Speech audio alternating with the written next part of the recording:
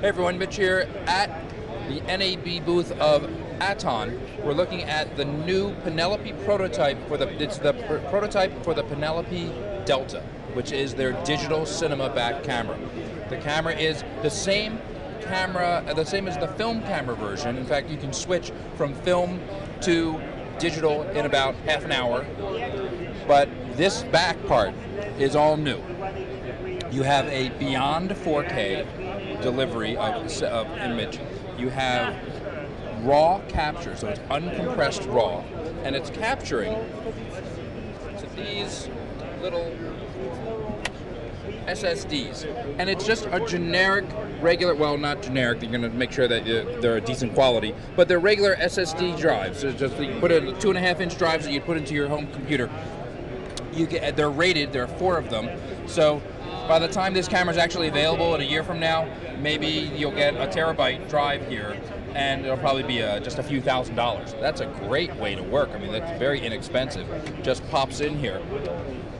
You can record on there in uncompressed RAW in a DPX structure, or you can actually record in DNxHD, the Avid standard, and it's any flavor of DNxHD. Anything that Avid makes, that will record. In addition to that, tucked in here behind the battery, there's has two battery mounts. And if I pull this one out of the way, you can see that right here is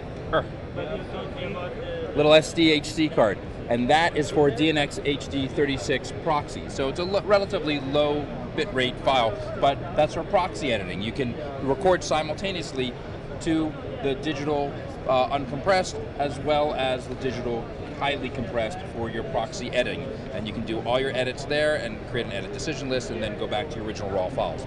In addition, it has 422 and 444 video outputs. You even have another HD SDI output up here that is for an assistance monitor, and that would give you an HD SDI quality image with an extra image area of a 12% look around. So just like when you look in a film viewfinder and you see the image area outside picture, you can have that on here.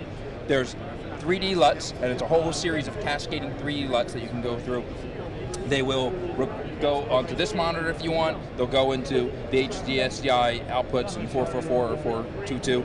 They'll go onto the DNxHD. Again, you can switch between these things if you want it on one, not the other. And if you have it on, uh, if you're recording in uncompressed RAW, then it will go as a header file in the uh, in, in, each frame so that you can apply it if you want. You know what that look was that you were working with on set. The camera has an air channel here that go that, then has this big fan here, and by making it so large, it spins very very slowly, so it's silent on set, so you don't have any noisy fan. And if you look at the shape of it, with this curve here, it just wraps to your body. It's the old Aaton cat on a shoulder idea is what they always say. That just wraps on it. It's very comfortable to use. So the camera itself is very easy and comfortable. You have controls on this side, you have controls and display on this side, you have a central control that's right in the middle that everyone can reach you, however you address the camera. That's the one thing that everyone always knows from Aaton is the comfort and ease of use of the camera has always been paramount to them, and they brought that to this design format. So it's a really nice system that just has a lot of thought into it of how the operator addresses the camera.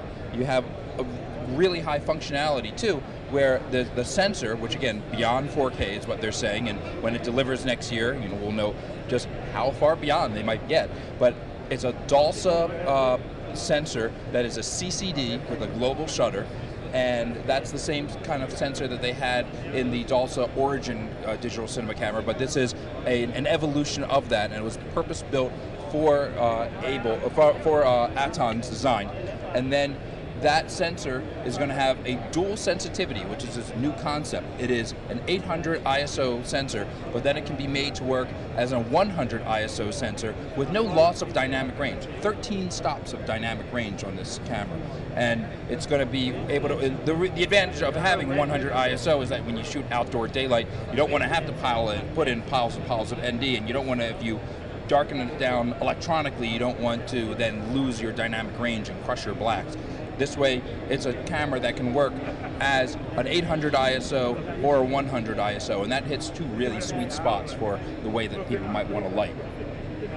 Again, compact, easily easy to use, inexpensive media, extremely high quality, and very comfortable.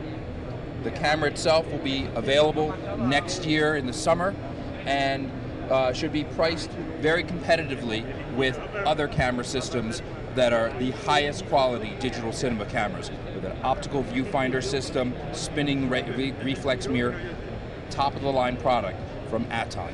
Here, presented to you by Abel Cine Tech at the NAB show.